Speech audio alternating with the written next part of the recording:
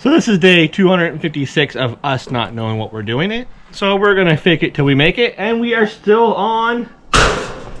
Didn't fall apart. I was waiting for it to. we're still on the uh, powder coated oven, guys. Okay, guys, welcome back. Today we are doing something a little bit on the different side of things, but it should find useful for you guys.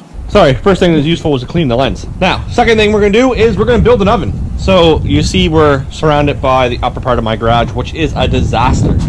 We all this stuff was stored up here, so don't mind the Prius. We own a couple of them. So let me show you. We have nothing fancy to work with. So this is our garage. This is the upper part of my garage. We were redoing it. We got sidetracked with 15 million other projects, and here we are. So we use a household oven. We need to finish this up. Is what we need to do too. Uh, we use a household oven to powder coat. So here is our oven we use for powder coating, but we want to powder coat bigger things. We're going to have uh, Jeff's 18-inch rims that need to get done, and you know, maybe some things for my El Camino when it comes time, and whatever the case may be. So we need a big oven. So we have a lot of space that's not being used up here. And you can see I do valve covers on the side, another valve cover there. So we do powder coat some stuff. So we are going to make an oven. It's going to be 4 by 5 by 5, 5 by 4, 5 by 4. So we're going to build an oven in here, five by four. We've never done it before. We just threw some money around, and uh, hopefully this works, and my garage does not burn to the ground. if you're my insurance company, we bought the oven, and uh, hopefully my garage doesn't burn to the ground. So what we did find is we're going to be using the aluminum studs. We got 30 of them. And then we do have 22 gauge and 16 gauge metal.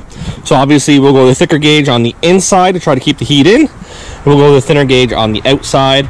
Also picked up fireproof insulation to run in the inside as well. So less talking for me and let's have some fun building this. So for anyone that's going to be curious, we will put a list of what we use down in the description.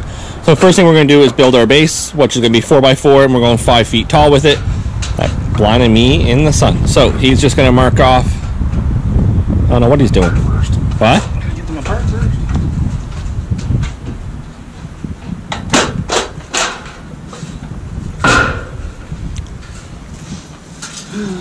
So we're doing a 4 foot base.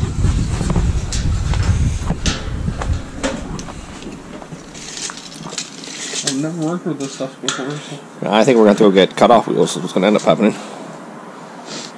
Good thing with that though, it's eight feet long, so you should be able to cut it right in the center. Should be able to cut it here and bend it. Make it into.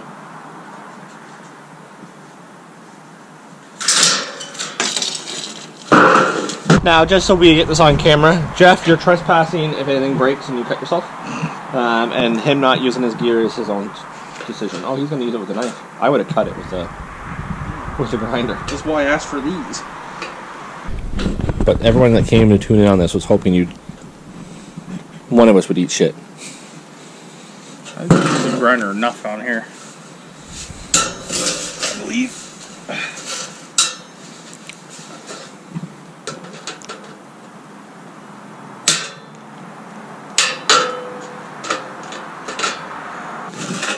Put a screw in it.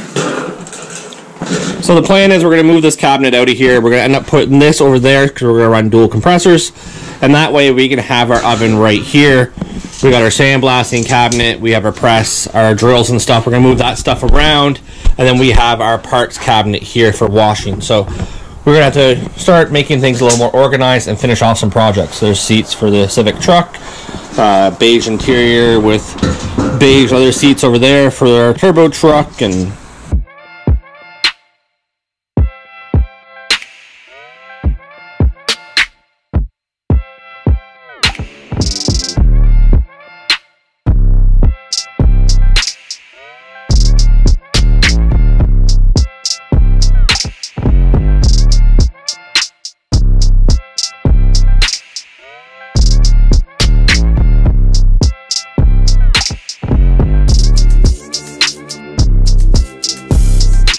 here's the bottom. Uh, Jeff's doing another one right now for the top.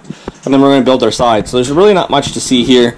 At the same time, we are doing some DIY on some Prius headlights. We're going to paint them black and buff them later. So, well, not buff them today, but they will be buffed. So it's basically the same thing as top to bottom. Literally just trace out your four feet. These are eight feet long. So snip it and then we can fold it in half and be done. And then add the three You see two supports in the center there. So what we're gonna do is we're gonna come back once that's done, and then we'll show you us building the walls. And then uh, obviously we don't build the front wall because the front wall is gonna be a door. So we're gonna do a little bit and then have a stud there, and then we'll walk you through it. We're learning as we go as well. It shouldn't be too too bad. So here is the oven. As you see, Jeff is still building walls and uh, getting ready. It must be a little harder for him because he has to hold it.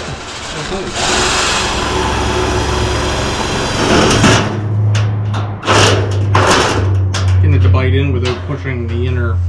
Yeah, it looks like it's pushing it all in.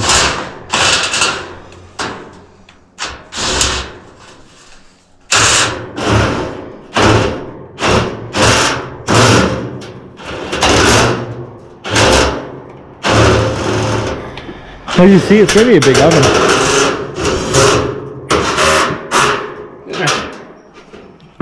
It's going to be a decent size oven. Top plate, two more studs here. I left these ones out because that's where elements are going to go, so we just don't need a box in around them. So here's the start. You'll see there's a caster up there in the left-hand corner. We were just checking the height. Obviously, it's still really good. It won't be all that level yet because it's still very flimsy and the front's not done as well. We got to figure out uh, how far we're going for our door. Um, and we got to figure out our elements. Right now we have two elements because we're going to use that white stove back there, which we are baking headlights in right now. So uh, it's being previously occupied. So we're going to end up putting the two elements on the bottom. I might see if I can get another stove, put two elements up top. So we'll just crisscross it. We'll put an element there, element here, and then we put an element there, and an element there. I don't know. We'll have to do some research to see. This is a big oven. Obviously, I knew the design beforehand, but until you actually see it, it's it's gonna be good because we had it planned to go right where that toolbox was. Yeah, which is the size of that toolbox width was. So as long as it reaches the outlet, which I just thought of, Mm-hmm. we could always get a longer cord though. though. You just need some BX cable or something. Yeah. So. So you see, we got our brackets on.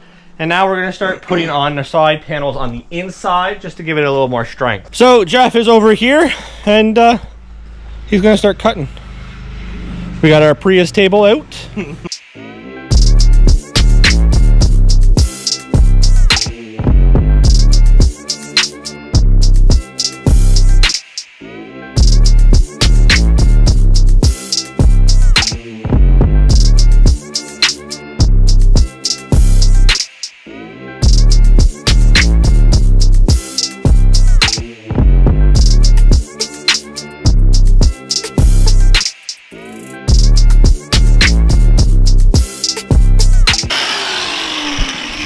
You know, if you had hair, you wouldn't have that issue.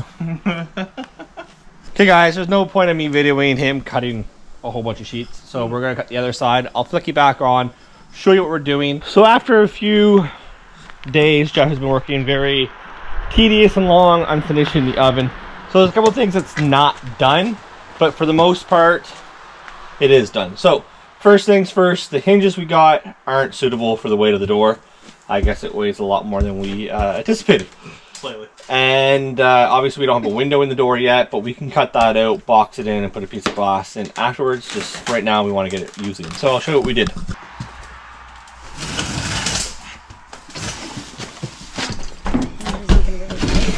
Oh yeah, can you ever tell that it needs stronger hinges? Yeah. So as you guys see, now there's a big echo.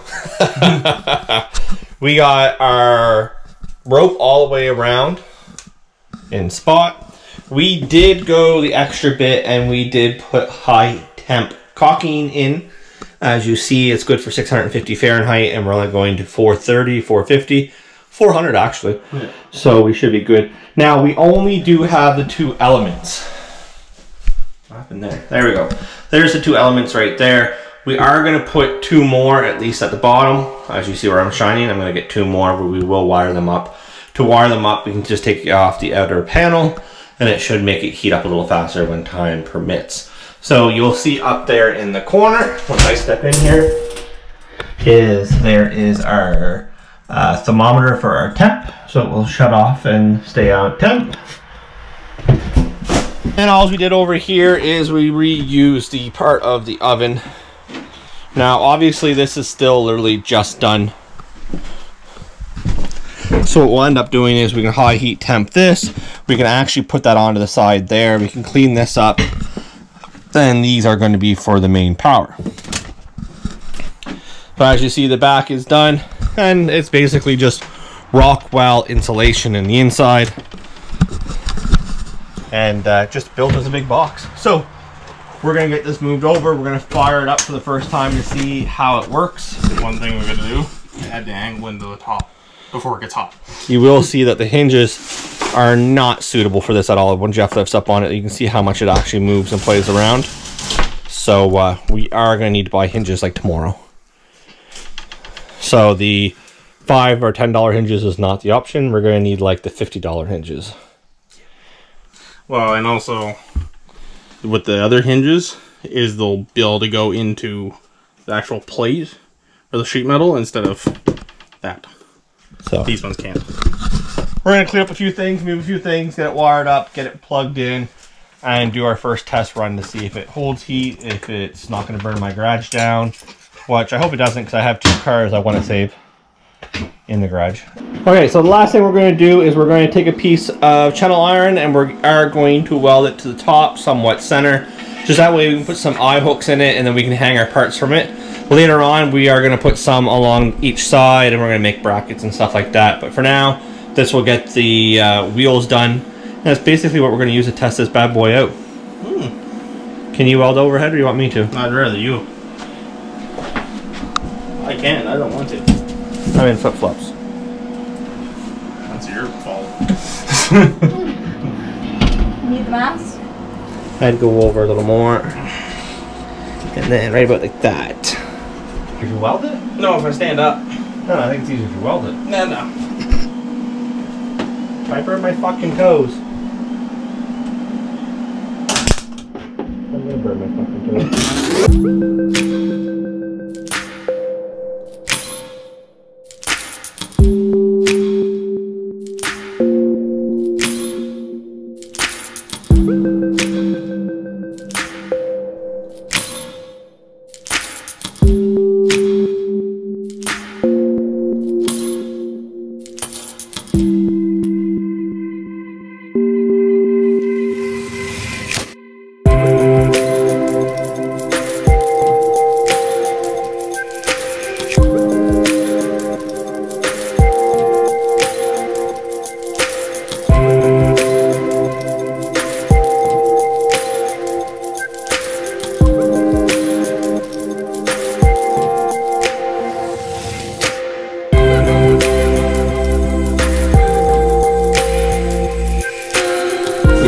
Yeah, That was nice and solid for that.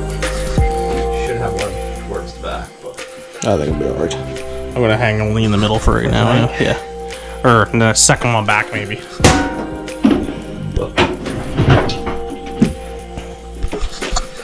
Oh.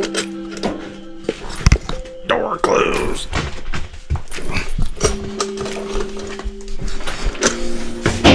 Screws under my feet.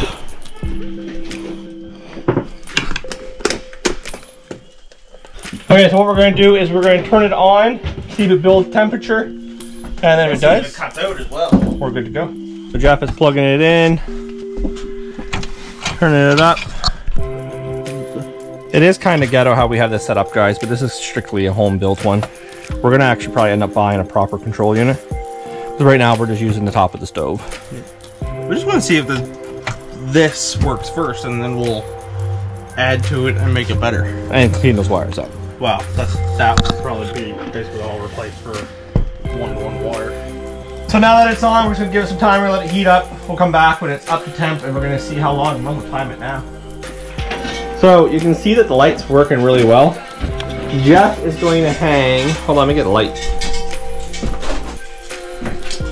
Jeff is gonna hang a wheel in here. I'd probably go back to the next one. You don't want to hit the door. Mind you, right now it's just a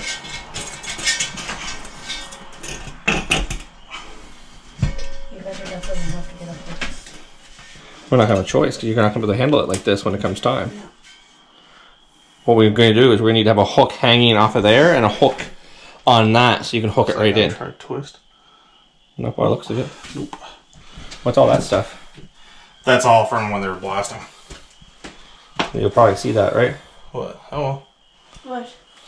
that's just where they didn't blast enough. That's all. That's what it is.